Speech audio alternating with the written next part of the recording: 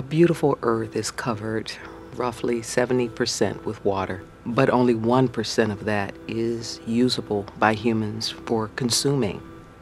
But water is one of those elements that we need to exist, like oxygen. Coming to this project, one of the things that I've learned is that there's no one solution to the water problem, but there are many, and a dialogue about each is important to have. I would most like this film to be an impetus for inspiring young creative minds or even mature minds to come up with innovative ideas to help solve our water problem.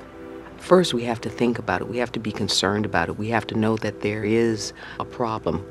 This film is one of contrast. We find a community in California and Arizona where a lifestyle needs to be maintained that of vast, beautiful golf courses and city parks.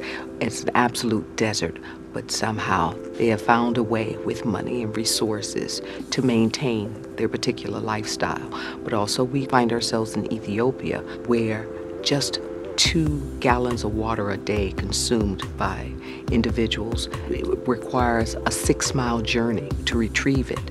And if you're too tired or you're too ill and you can't make that journey, then you are just forced to drink what's before you.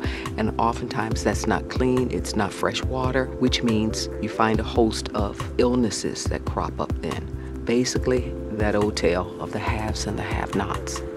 With water, it's really basic. We either have fresh, clean water and we live, or we don't have it and we perish. All over the world, there are great minds and big hearts who are coming up with ideas and solutions to this increasing problem of lack of water. I see breakthroughs happening all over the world. Wherever there's man and woman and ingenuity and ideas and curiosity and strength of purpose, there are solutions.